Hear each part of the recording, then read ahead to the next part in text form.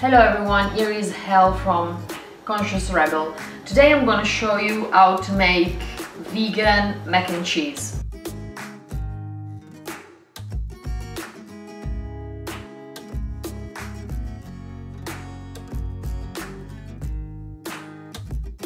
First things first, bring to boil some water in a little pan to boil your veggie that you will need to do the um, cheese sauce. So you can throw everything inside all together. Carrots, onions, potatoes and it will take about 10 to 15 minutes to become very very tender. Veggie will have to be very very very very very very very soft uh, to make the sauce very smooth. So it's about 15 minutes, but if after the 15 minutes it will not be soft, just wait a little bit more. Okay, one thing that you can start to do while the um, veggie are cooking is to start to prepare the um, sauce inside a blender. So let's start like inside butter, cashew nuts, salt, garlic, the lemon, just a quarter teaspoon of mustard, and then here, cayenne pepper,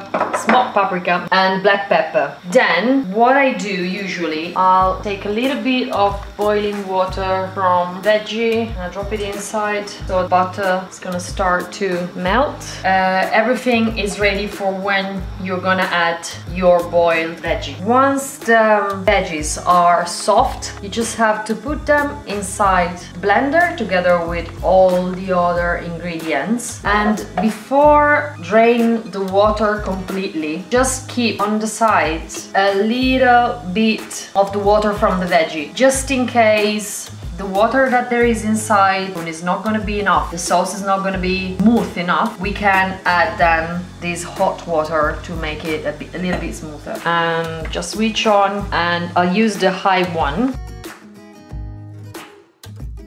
after about 15-20 seconds open the blender and push down all the things that there are on the sides and check the consistency. Let's close it again and let's blend it again.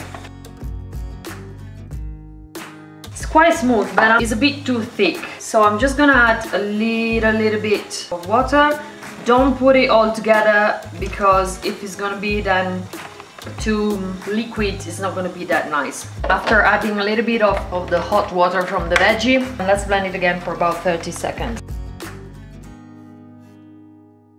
Let's see how it is. Oh yeah. So now that we have these ready you can transfer these to a container. And now that the water for the pasta is boiling you can just set up your timer. In my case it's just seven minutes. And um, put a little bit of coarse salt in the water. Just not even a teaspoon and just leave it to cook. Just one thing that you need to remember every time you cook pasta is an Italian telling you this. So you can trust me. When you throw the pasta, first of all, you need to wait for the water to boil. I know of some pasta killers that they just put pasta and water together and they boil it all together.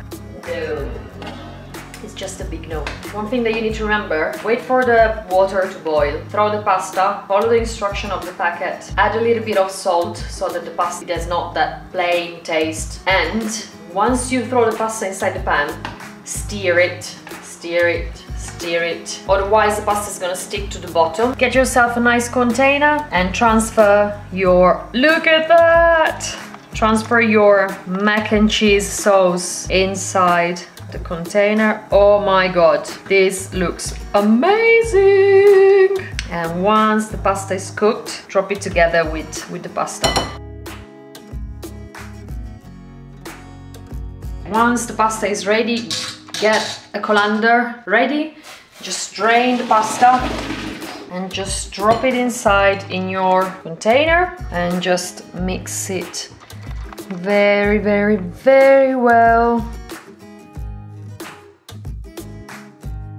And that's it. You can add a little bit of um, nutritional yeast on top of that.